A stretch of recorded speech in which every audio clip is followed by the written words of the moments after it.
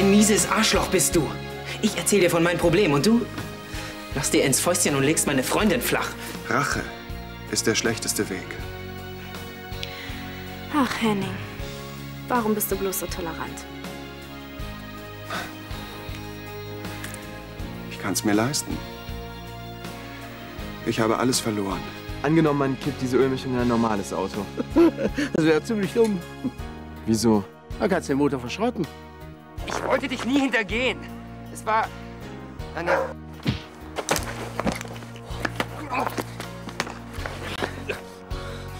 Ich hab sie geliebt.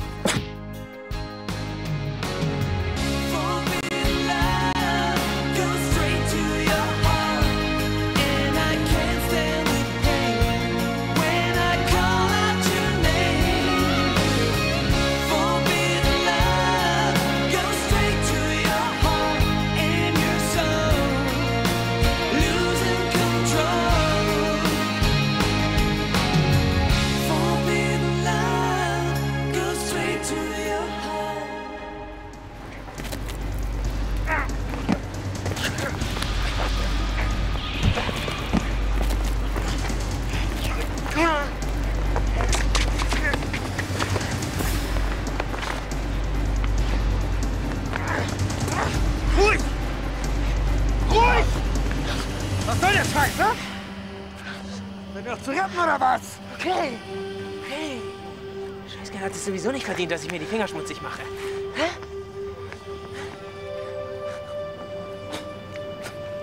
Ist bei dir alles okay? Ja, ja, Mann, ist alles okay. Bist du sicher? Ja, Mann, kümmere dich um Daniel.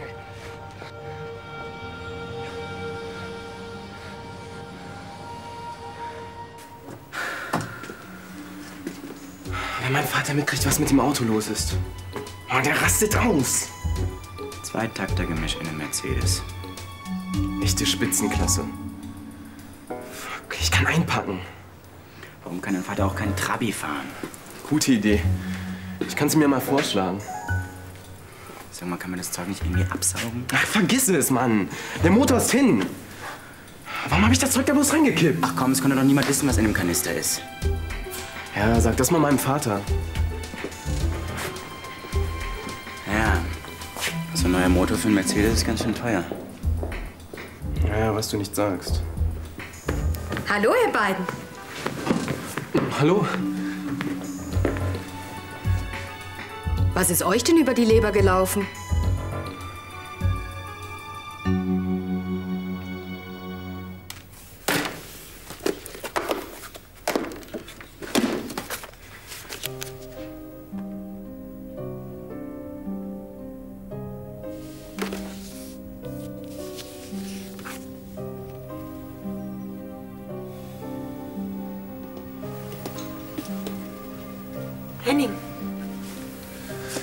Hallo Marie.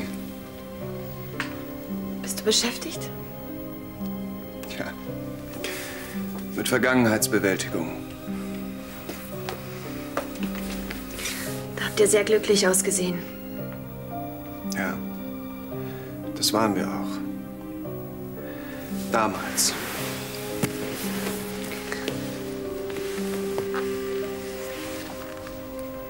Vermisst du Caroline sehr? Ich vermisse. Ich vermisse manche Momente mit ihr. Aber auf das traurige Ende könnte ich verzichten. Hey, mach nicht so ein Gesicht, mir geht es gut. Das soll ich dir wirklich glauben? Ja, ich kann sogar schon wieder lächeln. Ich bin froh, dass es dir wieder besser geht. Ich hatte große Angst, du könntest an dem Ganzen zerbrechen. Na komm schon. Die von Anstätten sind aus gutem Holz geschnitzt. Echte alte Fichte oder so. Sag mal, wollen wir nicht mal wieder rausgehen? Klar. Wann denn? Jetzt zum Beispiel? Du hättest Daniel mal sehen sollen. Er war völlig außer sich. So habe ich ihn noch nie erlebt. Wundert dich das? Nein. Musst du doch weg? Ja, ich habe überlegt, ob ich noch mal zu Daniel gehe. Oh, das wäre, glaube ich, keine gute Idee. Der schlägt dir die Tür vor der Nase zu. Wieso konnte Jonas nicht warten, bis ich mit Daniel rede? Gabriela, Weil er seinen besten Freund nicht länger belügen konnte. Weil du viel zu lange gewartet Ja, hast. aber so ist alles noch viel schlimmer.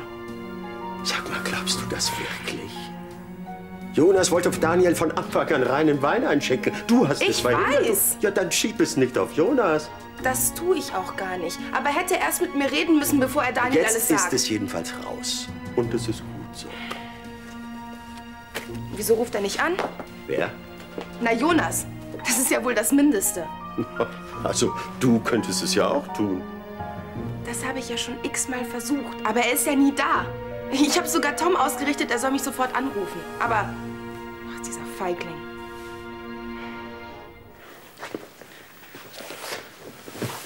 Ich glaube, sie war nicht so begeistert. Ja, mein Dad wird auch nicht lachen. Was willst du ihm denn sagen? Hi, Dad. Ich schwöre dir, ich werde nie wieder mit deinem Mercedes fahren. Er ist nämlich hin. Kommt vielleicht nicht so gut. Vielleicht. Die Karre ist sein Ein und Alles. Wenn du es ihm einfach nicht sagst? Schon gut, war ja nur ein Vorschlag. Mann, stell dir das doch mal vor, wenn er den Wagen startet. Stottern, Qualm, was weiß ich. Und das bei meinem Vater. Da habt ihr euch ja wirklich was geleistet. Er wird mich vierteilen. Das bezweifle ich. Der Pannendienst hat gerade den Tank abgepumpt. Echt? Und das ging einfach so? Ihr seid noch mal glimpflich davongekommen. Mom, du bist echt super. Vielen Dank, Frau von Weinbach. Hi. Hast du den Mercedes gefahren? Ich? W wieso? Weil er nicht mehr dort steht, wo ich ihn abgestellt habe. Dad, ich. Habe ich dir nicht ausdrücklich verboten, damit zu fahren? Martin, ich, äh, ich glaube, du tust dem Jungen Unrecht. Ich, ich musste noch ein paar Besorgungen machen und da habe ich den Mercedes genommen.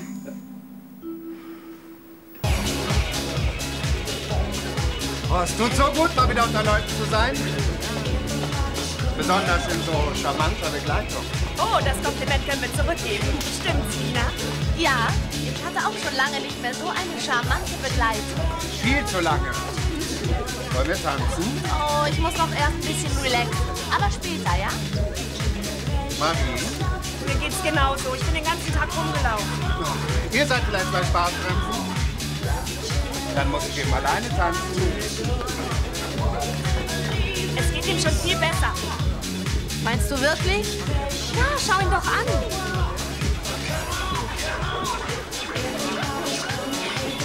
Ich trau dem Ganzen nicht. Wieso? Er hat es mir heute selbst gesagt. Er ist dabei, mit allem abzuschließen.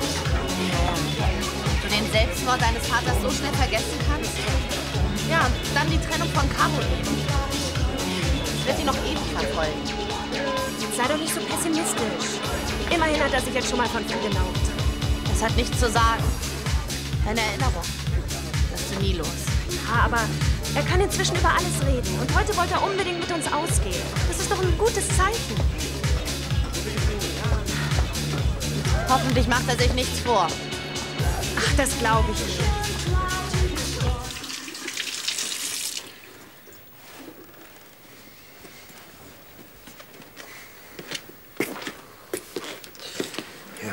Danke.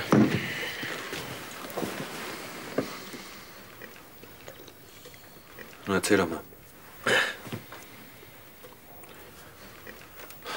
Du bist doch nicht ohne Grund so ausgerastet, ne? Ich habe echt keinen Bock darüber zu reden, okay? Das kenne ich, Daniel. Aber vertrau mir, alles in sich reinzufressen ist keine Lösung. Das Thema Jonas hat sich für mich erledigt. Mehr sage ich nicht dazu. Aber ihr. Ihr seid doch gute Freunde. Gewesen. Zumindest habe ich mir das eingebildet. Gabriella. Ich bin einfach froh, wenn mir der Typ nie wieder über den Weg läuft, okay? Ich gehe dann mal. Warte mal. Findest du es wirklich eine tolle Idee, heute Nacht zu Hause zu schlafen? Keine Panik, das habe ich nicht vor. Ja. Und wo willst du hin? Keine Ahnung. Daniel, ich habe einen Schlafsack hier. Lass mal. Ich werde schon irgendwo unterkommen. Mehr als anbieten kann ich's ja nicht. Ja, danke.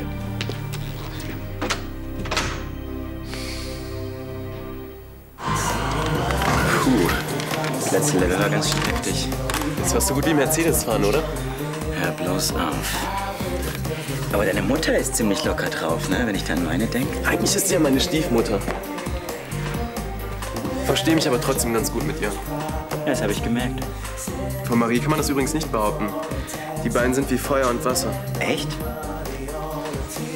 Ansonsten ist meine Familie aber echt cool. Auch mein Vater.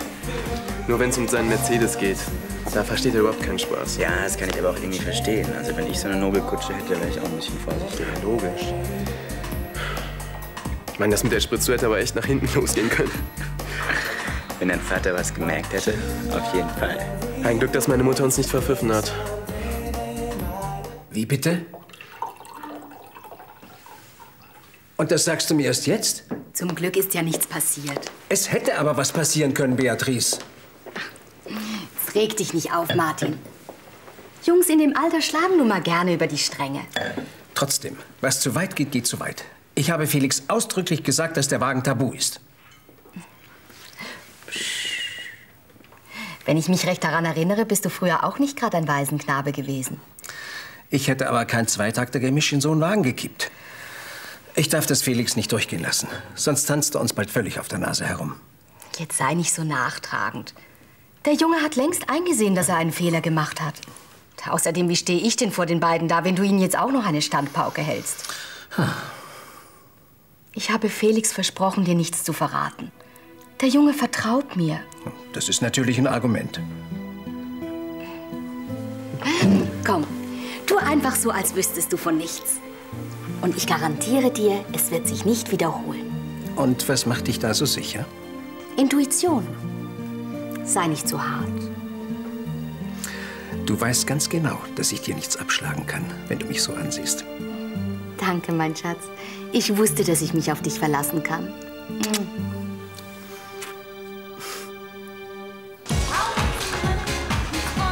Dankeschön. Für meine eine Lieblingsfreundin Merci, und für meine andere Lieblingsfreundin. du Schmeichler. Santé. Auf die zwei charmantesten, hübschesten, bezauberndsten, Henning. nicht unterbrechen, attraktivsten, geistreichsten und hinreißendsten So, jetzt reicht's aber. Wesen, die man sich vorstellen kann.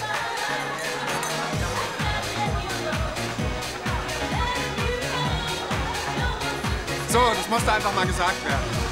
Danke, Henning. Du bist echt süß. Im Übrigen ist es mir schon lange ein Bedürfnis, euch endlich mal zu danken. Wofür? Für alles, was ihr für mich getan habt.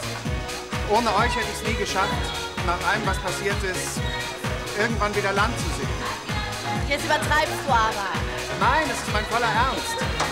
Ihr, ihr habt mir so viel Kraft gegeben. Ihr alle beide. Und ihr wart immer für mich da. Hauptsache, es geht jetzt wieder besser. Das tut es. Stoßen wir auf die Zukunft an. Dass ihr uns allen nur Gutes bringt.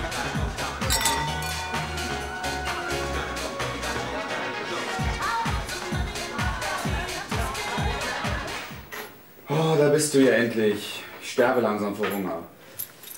Ich habe nichts zu essen dabei. Sorry, ich habe gedacht, das wäre Alexa. Sag mal, Jonas, was haben die denn mit dir gemacht? Wonach sieht's denn aus? Ja, als hättest du im Stadion die falsche Mannschaft angefeuert. Wer war denn das? Warte mal. Nicht etwa Daniel. Ist er da? Nee, nee. Komm, jetzt, jetzt setz dich erst mal hin. Komm.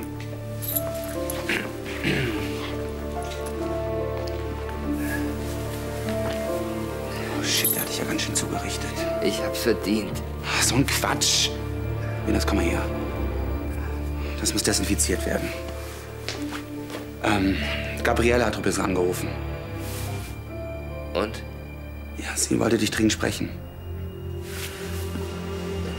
Ach, Wo willst du denn jetzt hin? Zu Gabriela. Nichts da, du bleibst schön hier. Aber ich muss alles erklären. Äh, Jonas, du kannst so nicht zu dem Brandners gehen. Und außerdem ist es viel zu spät.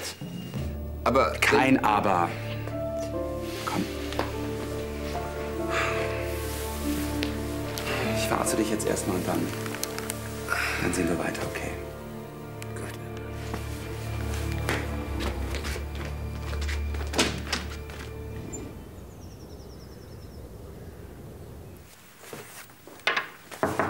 Ja, bitte?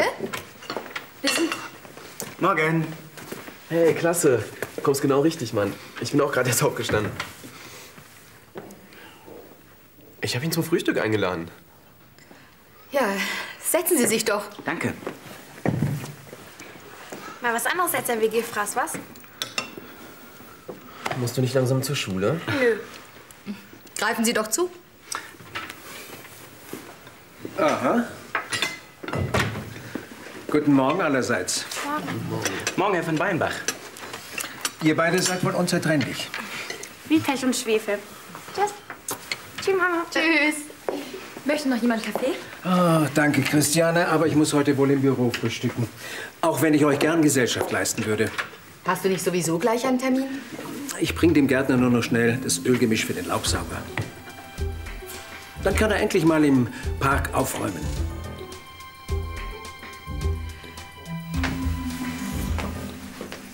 Das hat doch Zeit bis morgen, Martin. Fahr lieber los, sonst kommst du zu spät. Anton hat mich extra drum gebeten. Außerdem, der Rasen sieht wirklich verheerend aus. Wie wär's, wenn die beiden sich darum kümmern? Na, was haltet ihr davon? Klar, wir können das Laub auch haken. Das wollte ich immer schon mal machen. Also. Ist auch gut für die Oberarmmuckis. Oder hast du keinen Bock? Nee, super, Laubhaken. Benutzt doch den Laubsauger. Damit geht's rucki zucki. Ach was, ein bisschen Bewegung kann uns nicht umbringen. Oder was meinst du? Nee, klar. Wollen wir los? Mhm.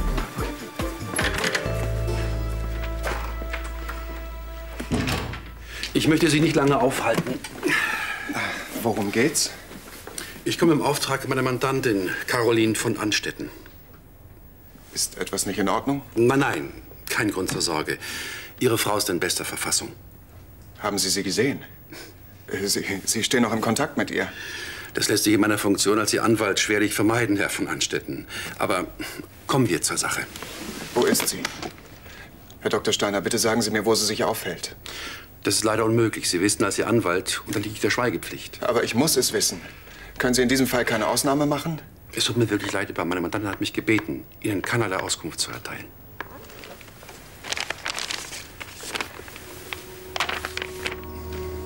Was ist das? Die Frau von Anstetten möchte die Scheidung einreichen. Wie bitte? In diesem Umschlag finden Sie alle erforderlichen Unterlagen. Ach, dann habe ich hier noch einen persönlichen Brief Ihrer Frau.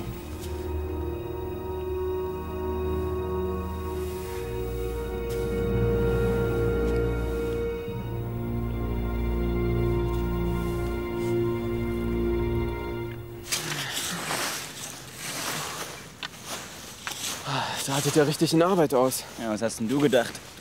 Na, ein bisschen spaßiger, ich mir das Ganze schon vorgestellt. Ja, bei dem Riesenpark und auch noch mit leerem Magen.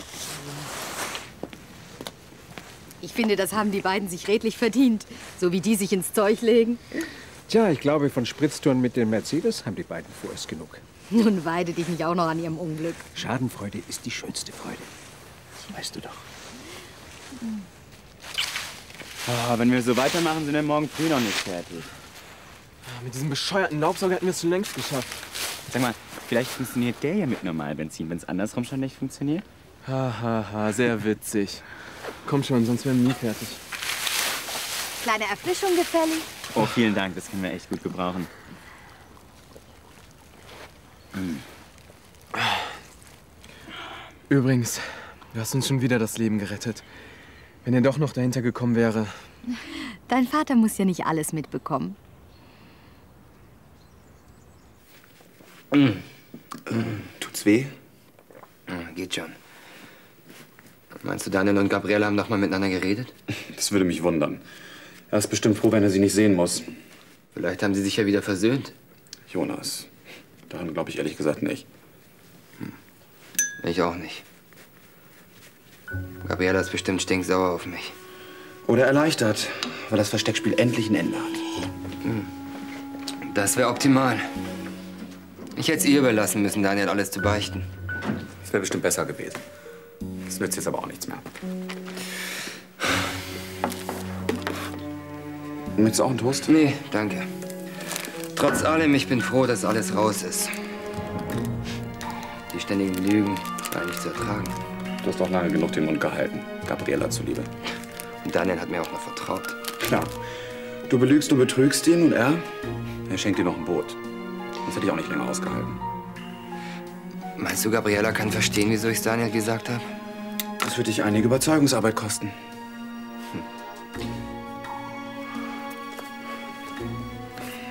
Wie soll es jetzt eigentlich zwischen dir und Gabriella weitergehen?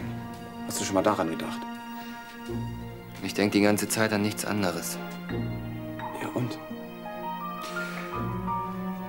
Das klingt vielleicht total egoistisch. Aber ich liebe Gabriella. Ich hoffe immer noch, dass wir zusammenkommen. Wiedersehen. Wiedersehen.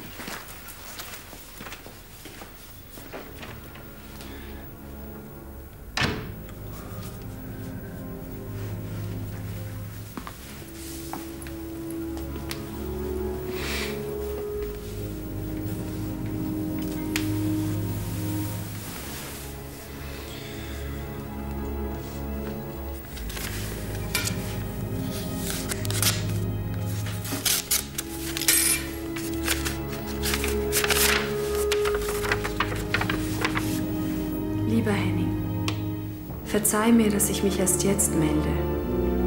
Nach den schrecklichen Ereignissen auf Friedenau habe ich Zeit zum Nachdenken gebraucht.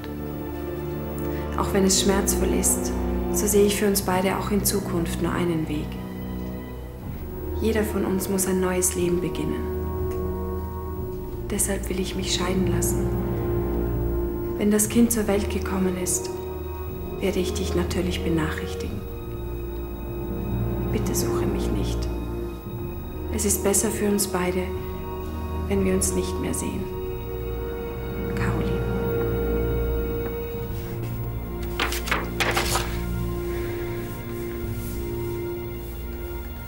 Und sieh zu, dass du was Warmes in den Magen bekommst. Steht noch was auf dem Herd.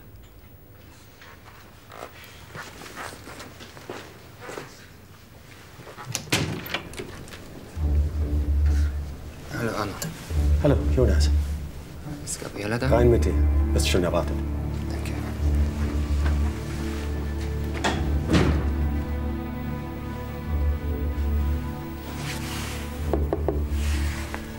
Hallo. Das ist weniger schlimm, als es aussieht. Und? Hast du schon mit Daniel geredet? Allerdings. Ich wollte ihm nichts Weißt du eigentlich, erzählen. was du getan hast? Du hast mich ins offene Messer laufen lassen.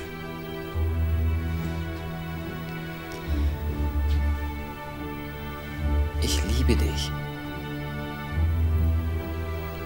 Das interessiert mich nicht mehr.